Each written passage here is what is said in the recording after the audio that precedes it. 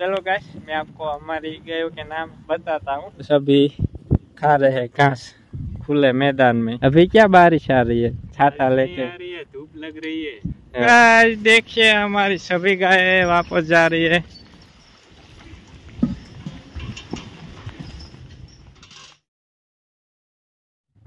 Hello guys की हाल चाल कैसे हो आप सब? आई होप के सब बढ़िया ही होंगे। तो स्वागत है आप सभी का।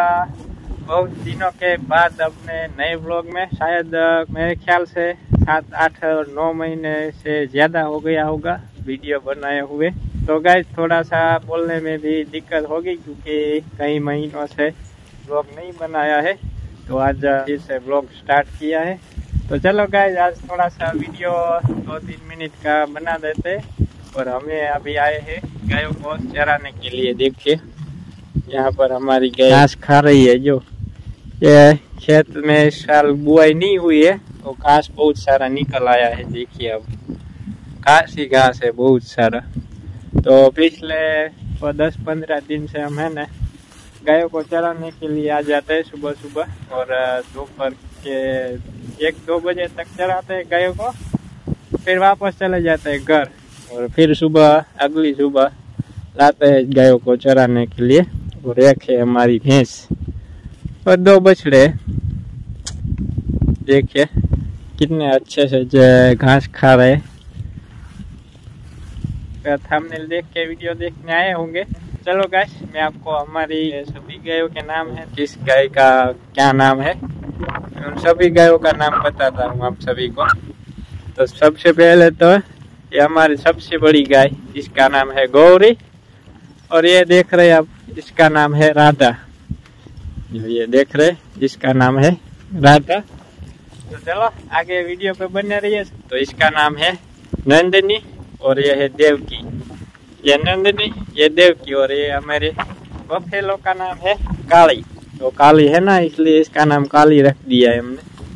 और ये है टीलू, इसका सफ़ेद टीलू देखिए यहाँ पर। इसलिए हमने इसका नाम टीलू रखा है।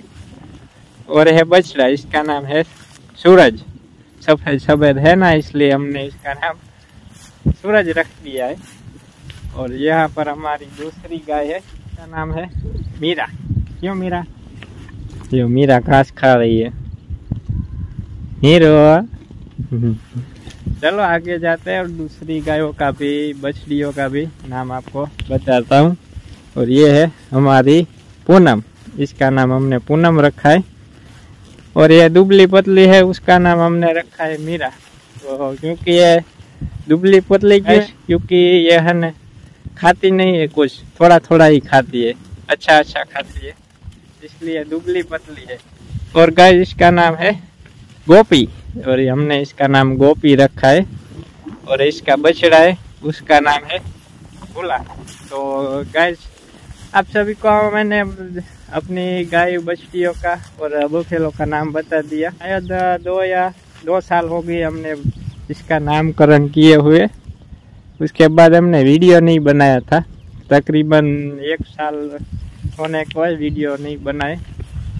तो सभी गायों का नाम मैंने आपको बता दिया। तो सभी खा रहे हैं घास। खुले मैदान में खेत में मैदान में नहीं खेत में खुले और यहाँ पर कल पे छाता लेके बैठा है मोबाइल में वीडियो देख रहा है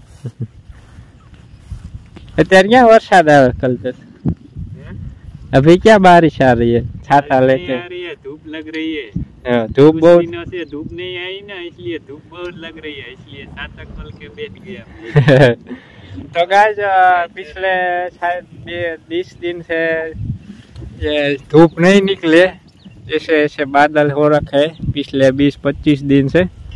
शायद एक महीना होने को है ऐसी धूप है। गाय चल रही है हाँ। चली जा रही तो गाय चलने लगती है कभी कभी चलती है और कभी कभी दौड़ने लगती है। इसलिए गायों के साथ रहना पड़ता है। जो देखिए गाय आगे आगे चली जा रही है। कितना अच्छा घास है, फिर भी कभी कभी चढ़ती है, कुछ देर चढ़ती है, फिर चलने लगती है। तो आगे मैं बता रहा था कि पिछले कई दिनों से धूप नहीं निकली है, इसलिए अभी थोड़ी सी धूप निकली है। तो धूप लगती है, इसलिए छोटा भाई है ना कल कल्पेश छाता खुला लेके बैठ गया था। तो चलो गाइस ये ब्लॉग यहीं पर हम खत्म करेंगे। मिलेंगे नेक्स्ट ब्लॉग में जो बनाएँगे तो एक दो दिन बाद फिर से कंटिन्यू करेंगे दूसरा ब्लॉग तो चलो गाइस मिलते हैं नेक्स्ट ब्लॉग में। तब तक के लिए बाय बाय तो गाय देखिए हमारी सभी गाय वापस जा रही है घास खा के घर। वापस घर जा रही है सभी गाय। ट्रैफ़िक हो जाएगा ट्रैफ़िक। पानी की टंकी पे ट्रैफ़िक हो जाएगा ये टंकी छोटी ही है इसलिए यहाँ पर ट्रैफ़िक हो जाएगा इसलिए कुछ देर बाद वो सभी गाय आएँगी देखिए आ गई हम्म।